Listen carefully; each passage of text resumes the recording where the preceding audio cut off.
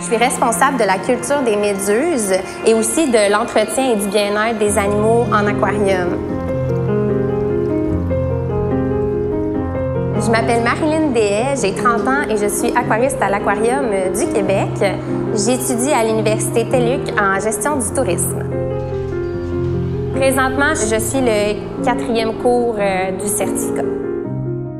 À l'automne 2018, je voulais peut-être m'inscrire euh, pour euh, la session hivernale, mais je me suis rendu compte qu'avec l'Université TELUC, ben, c'est vraiment facile de s'inscrire quand qu'on veut. On peut choisir notre date de commencement des cours, puis par la suite, c'est 15 semaines qu'on a pour compléter le cours. Je veux rendre le milieu marin plus charismatique, puis vraiment connecter les gens au milieu marin.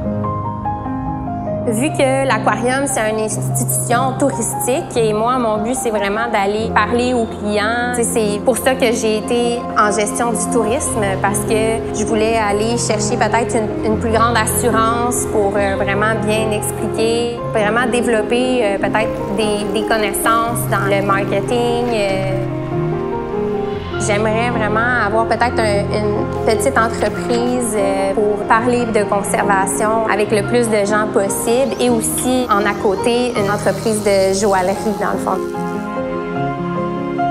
À la suite euh, du certificat, j'aimerais peut-être faire euh, une combinaison de plusieurs certificats. C'est sûr que je vais y aller vraiment avec ce que j'ai de besoin. Si je sens qu'il me manque encore de l'information, ben c'est sûr que je vais toujours essayer d'aller en chercher plus.